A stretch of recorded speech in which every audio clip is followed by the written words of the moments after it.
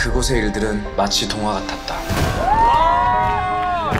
안녕하세요. 신세계는 선택된 자들을 위한 꿈의 유토피아고 이게 바로 신세계인가? 이곳이 바로 천국인가?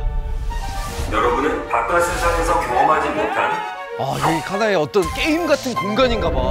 6일째 여러분이 신세계에서 나갈 때 그동안 여러분이 모은 자금을 바깥 세상에서 쓰는 화폐 원화로 환전하여 나갈 수 있습니다. 야 이거 그러면 야 잘하면 재테크가 되겠네. 아니 그러니까 이거 지금 매일 여러분에게 자금을 얻을 수 있는 다양한 기회도 제공할 예정입니다. 나에게 양을 주세요. 아니네. 신비로움이 가득한 그림자 상점입니다. 이 카드가 6일 동안 할 수 있는 게임들의 힌트인 거야. 시간 여행할 수 있는 아이템. 황금알을 낳습니다. 승기. 재밌게 즐기시기 바랍니다. 아, 일단 돈을 벌어야겠다.